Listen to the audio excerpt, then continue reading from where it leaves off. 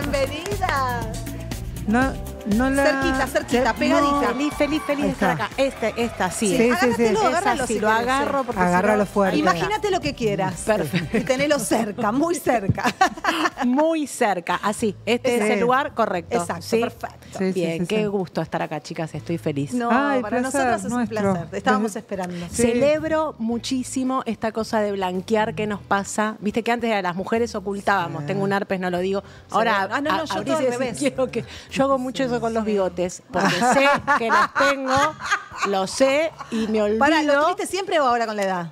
Vos viste la guachada de, de- de la edad Sí. y con nosotras, Que, ¿no? que dejas de ver. No, Ah. entre otras cosas, pero con tema pelos, no sé si a ustedes les ha pasado eso, calculo que sí, se te van de algunas zonas y van aparece a otras. Mi abuela, mi abuela mamama decía eso. Es que es así. Decía, se me van los pelos de donde tendría que tener, Claro. te dice. y Que pero me recuerdo. Pero es tal cual, ¿eh? Mi abuela, bueno, en e- antes no sé si les importaba mucho, no, no era que había tanta depilación. Yo tengo mucho recuerdo ¿Vos de, de, los bigotes de qué mi zona abuela. estás hablando? De los bigotes. Ah, de los este bigotes. caso. In- Sí. eh, eh, eh, los, acá arriba decís. Los- Sí, los bigotes. bigote, sí, Nunca sé- calculo, hablando, claro, ¿viste? calculo que, que, que esos. Yo tengo, eh, Ah, pero siempre vos fui decís muy que antes se peluda. los pelos. No se sí, no los sé, pelos. pero No. Yo me acuerdo que mi abuela me pedía que le depile. Mi abuela, ¿No? bueno, a lo mejor era algo familiar, mi abuela relajó, en un momento dijo, no puedo con esto. Mis respetos a tu abuela. Sí.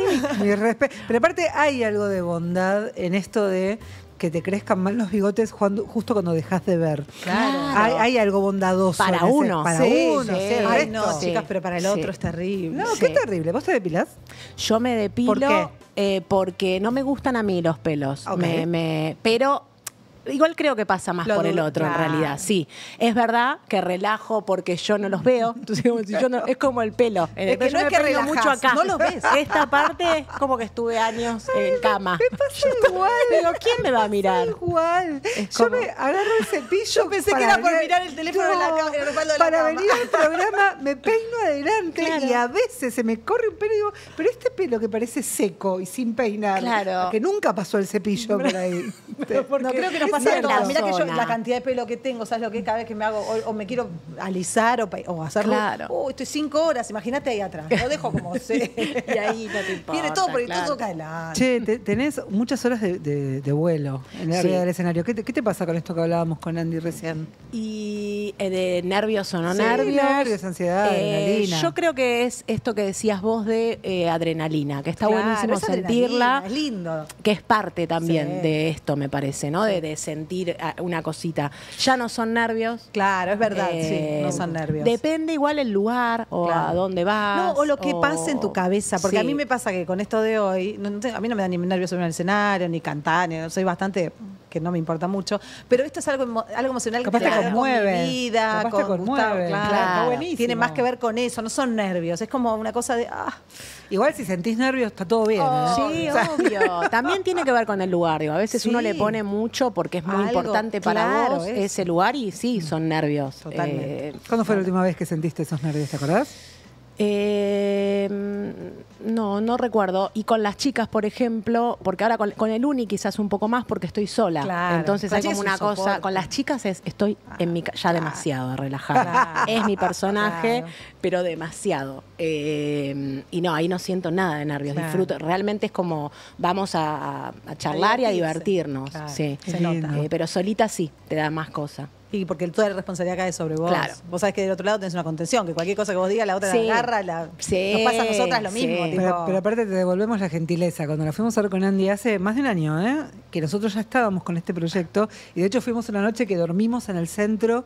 Pues, Igual vivimos a me- media hora, 20 minutos, pero digo, Las minas para que ir al hicimos, centro claro, dormían, claro, no, pero lo que Se hicimos fue en larga distancia. Claro, pero no lo, lo aclaro, pero lo que hicimos fue tipo retiro, nos, nos encerramos en un hotel y estuvimos laburando en esto, ¿eh? pero en esto que Claro. es mucho más grande que esto. Otras cosas que te- Y cuando nos fuimos, cuando fui- y fuimos a ver las chicas de la culpa y lo que decíamos es que qué copado que se ve como un bloque, que no hay estrellas, que son las cuatro Sí. pares, y eso se siente súper copado porque rompe un poco con esa idea de que es difícil trabajar entre minas.